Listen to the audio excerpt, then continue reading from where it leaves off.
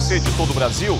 Começa agora o Norte Investigação, um programa do Grupo Norte de Comunicação, presente nos estados do Amazonas, Acre, Roraima, Rondônia, Tocantins e pela Rádio Norte FM em Brasília, no Distrito Federal. Eu sou o jornalista Walter Frota e a partir de agora você acompanha mais uma reportagem investigativa e no programa de hoje vamos falar sobre crimes sexuais contra crianças e adolescentes. Dados do Ministério dos Direitos Humanos e Cidadania apontam que nos quatro primeiros meses de 2023, o Disque 100 registrou mais de 17 mil violações sexuais contra crianças e adolescentes. Os detalhes dessa reportagem você acompanha agora.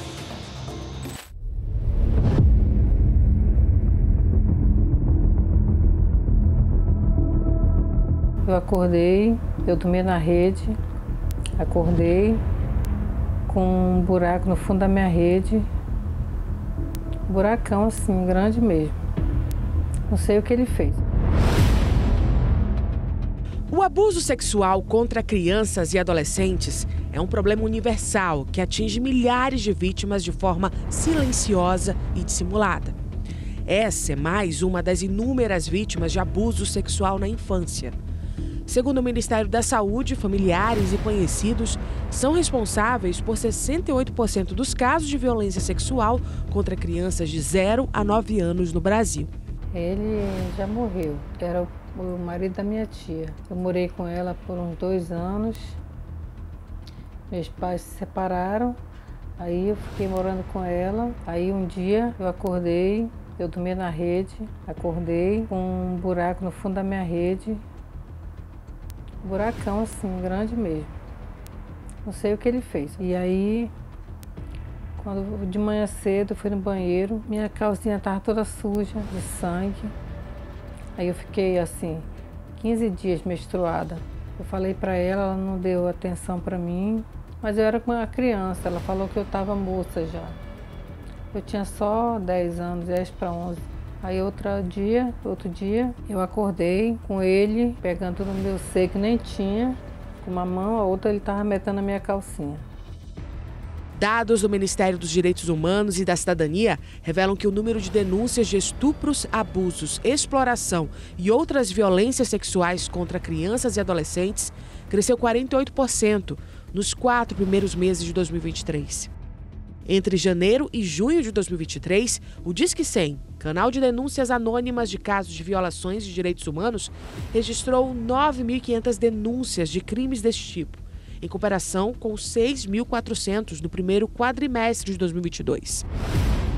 O líder indígena da aldeia Muratuba, no estado do Amazonas, foi preso pela Polícia Federal neste mês, acusado de abuso sexual contra mulheres e uma menina de sua própria comunidade. Além disso, o cacique de 57 anos é suspeito de ter estuprado quatro pessoas do sexo feminino, incluindo a própria neta, de apenas 8 anos. Nós cumprimos um mandado de prisão temporário, um mandado de busca e apreensão numa aldeia indígena no município de Altazes a Polícia Federal ela recebeu uma notícia crime encaminhada pelo Ministério Público Federal com relatos de testemunha e de vítima em relação a crimes cometidos por esse cacique. Sob essa pessoa repousa a investigação de crimes de estupro de vulnerável, crime de assédio sexual, crime de estupro, né, que é, as vítimas não eram vulneráveis, não eram crianças é, e também o abuso, esse abuso de autoridade que ele cometia por ser cacique. A delegada diz que, além dos crimes praticados presencialmente,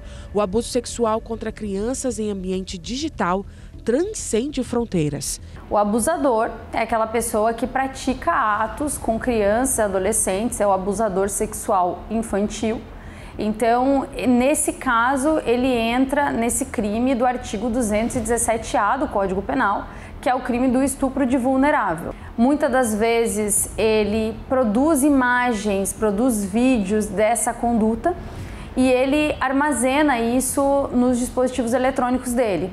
Às vezes, como são imagens inéditas, são imagens de uma vítima não conhecida, ele acaba compartilhando ou até vendendo. E essa, essas condutas do armazenamento, do compartilhamento, da venda, elas acabam quando essa pessoa compartilha, né, quando ela vende, quando ela vende para pessoas que estão fora do país, ela é de atribuição, investigação e de atribuição da Polícia Federal. Na medida em que a tecnologia avança, as modalidades para o cometimento dos crimes em meio virtual fortalecem a possibilidade do anonimato dos autores. Eles tentam se anonimizar, né? que é o que a gente fala que esse processo de anonimização é o processo que essas pessoas, são os cuidados que essas pessoas tomam para serem anônimos na internet. Eles, eles acreditam que porque eles têm um nome diferente na internet, porque eles fazem um cadastro de uma forma diferente, eles vão ser anônimos. E na realidade não é bem isso que acontece, né? Nós temos ferramentas para chegar naquela pessoa que está atrás da tela. Volto aqui esses são casos absurdos. Casos que deixam todos nós revoltados. Como é que pode uma pessoa abusar sexualmente de uma criança indefesa? Como alguém pode ter prazer em traumatizar uma criança que está iniciando a sua vida? Olha só, as crianças que passam por esse tipo de situação levam isso para o resto da vida. São feridas que jamais cicatrizam Olha o caso do Tuxaua, que foi preso na semana passada.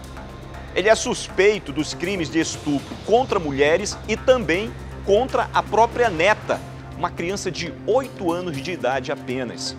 Em que mundo nós estamos vivendo, hein, pessoal? Em que mundo? Uma criança de 8 anos de idade que não entende o que está acontecendo com ela. Essa pessoa, esse suspeito, ele não tem condições de viver em sociedade, não tem condições de viver uma vida normal, social. Eu quero falar para você que me acompanha em todo o Brasil, em especial aos estados que compõem o norte do Brasil.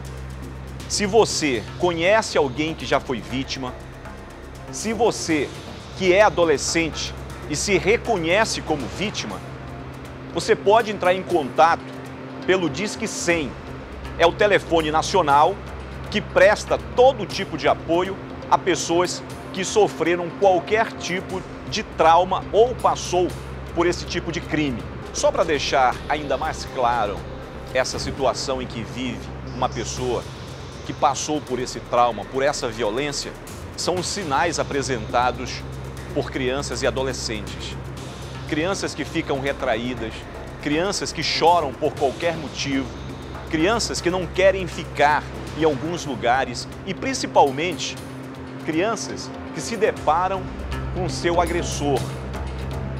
Essas pessoas, essas crianças, elas não ficam perto daquele suspeito que possivelmente teria cometido qualquer tipo de crime, principalmente o crime de violência sexual. É importante observar os sinais apresentados por crianças e adolescentes que já passaram por qualquer tipo de crime de violência sexual. E a maioria dos crimes que envolve crianças e adolescentes que são vítimas de violência sexual, muitas das vezes, segundo os especialistas, acontecem dentro da própria casa. E tem o pai, o padrasto, o irmão, o primo, o tio, que terminam cometendo esse tipo de crime absurdo. Não deixe que esse crime não deixe que essa violência cresça no nosso país. É preciso denunciar. O Disque 100 é um número nacional, mas você também pode ligar diretamente para a polícia, para o 190 ou então para o número da Secretaria de Segurança Pública do seu estado. O importante é tirar a vítima daquele ciclo vicioso, daquele ciclo de violência. Não deixe de comentar nas nossas redes sociais, portalnorte.com.br e também nos ouvir pela Rádio Norte FM em Brasília, no Distrito Federal. Você também pode enviar a sua sugestão de denúncia para o nosso número 92 é o DDD, telefone 992 97 2401. Agora você acompanha a segunda parte da reportagem investigativa. Essa é a mãe de uma vítima de um caso que ocorreu em Tocantins. No dia 10 de fevereiro de 2023, é, eu deixei minha filha no colégio particular aqui em Palmas, Colégio Batista, né, deixei minha filha bem. E quando eu fui buscar ela às 18 horas, ela me relatou que havia machucado a pérola no colégio. Ela estava meio entristecida e eu achei estranho, né? É, ela me falou que havia machucado, aí me contou as duas versões, eu achei assim estranho. Coloquei ela dentro do carro, fui para casa. Chegando em casa, eu falei, filha, deixa a mamãe olhar sua pérola. Você disse que machucou, quando eu tirei é, o short dela, que eu fui olhar a parte íntima dela, estava suja de sangue, com escoriação, né? ela tinha sido violentada sexualmente. Eu fiquei desesperada, né? eu não consegui falar, é, vesti a roupinha dela, fui para a cozinha, chorei demais. O pai dela estava viajando na época, trabalho, estava em São Paulo. O anuário do Fórum Brasileiro da Segurança Pública apontou que o Acre foi uma das cidades do norte que apresentou alta nos crimes contra crianças e adolescentes em 2022, na comparação com 2021. O crime de pornografia infanto-juvenil foi o que sofreu maior variação. No Amazonas, o motorista de condução escolar, de 45 anos, foi preso suspeito de estuprar uma adolescente de 15 anos em Manaus. Conforme a polícia, a vítima era abusada sexualmente pelo homem desde os 11 anos. De acordo com a polícia, grande parte dos abusos ocorreram dentro do carro de condução escolar. Essa psicóloga explica que o abuso sexual na infância é um facilitador para o surgimento de traumas e doenças psicológicas graves. A criança que ela é vítima de abuso, ela apresenta um estado choroso muito constante. É, na escola, ela, o desempenho dela também é, tem essa, essa redução. Né? Alguns é, têm a rejeição daquela brincadeira em grupo. Ele geralmente se isola. A criança com um trauma de um abuso sexual com ou sem toque, ele traz toda uma sequela, né?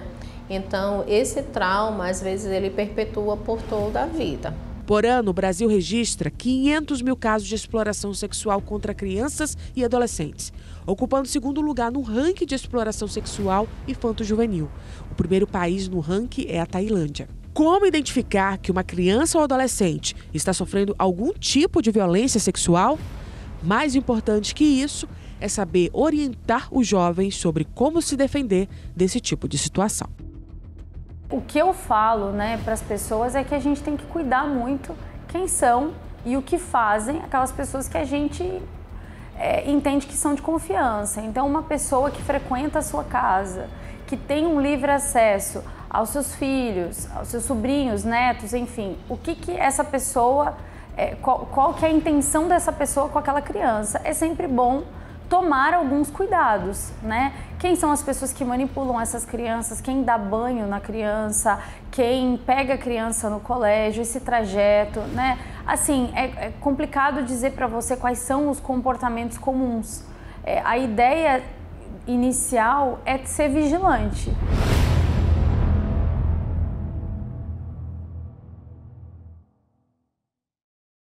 Eu quero destacar aqui o excelente trabalho que a delegada Letícia Prado vem realizando na Delegacia de Repressão a Crimes Cibernéticos da Polícia Federal. É um trabalho importantíssimo para combater esse tipo de crime absurdo. O ano passado, a delegacia realizou mais de oito operações com o intuito de combater esses crimes contra crianças. E como vocês podem ter visto aí, foram vários casos registrados anualmente. E por falar em dados, você vai acompanhar comigo agora um levantamento que o Norte Investigação fez sobre abuso infantil nos estados que compõem o norte do Brasil, onde o Grupo Norte de Comunicação está presente. O Amazonas, o Acre, Rondônia, Roraima, Tocantins totalizaram 2.647 casos de estupro de vulnerável, já em 2022, o número subiu para 3.291 nesses mesmos estados, um acréscimo de 19,5% em comparação ao ano de 2021. Esses dados são do Anuário Brasileiro de Segurança Pública. É importante para você que é pai ou mãe ficar atento aos sinais apresentados pelos filhos. É importante orientar as crianças e adolescentes sobre esse tipo de comportamento de adulto. Agora você vai acompanhar os principais destaques da semana ocorridos na região norte e no Distrito Federal.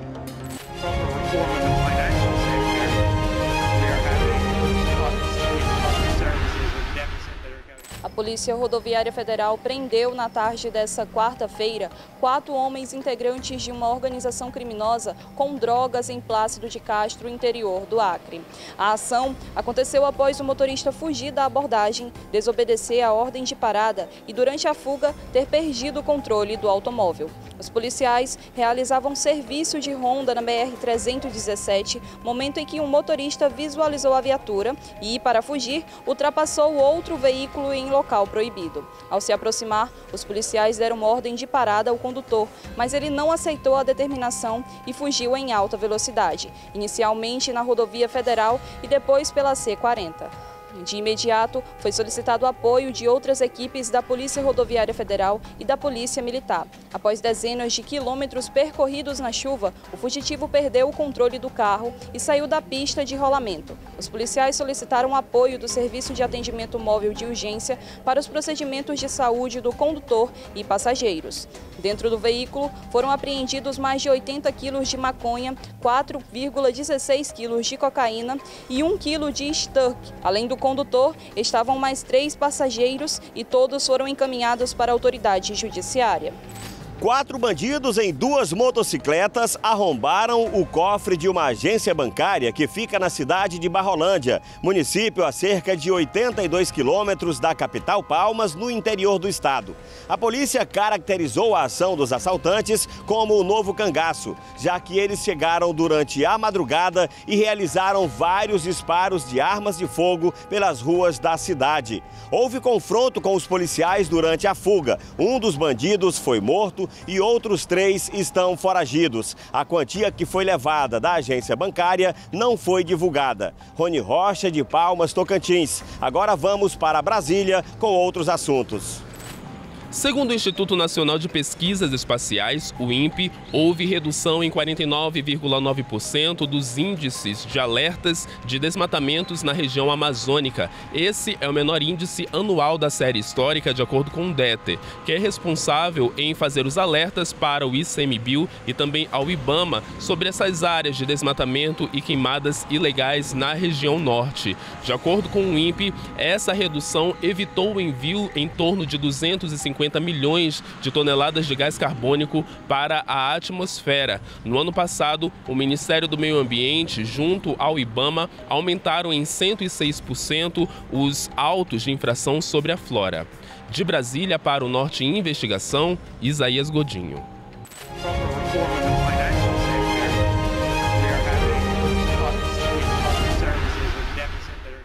Na próxima semana estaremos de volta. Sempre nos acompanhe pelas redes sociais, portalnorte.com.br e pela Rádio Norte FM em Brasília, no Distrito Federal. Mande a sua sugestão de reportagem investigativa para o nosso WhatsApp, DDD 92, número 992 97 2401.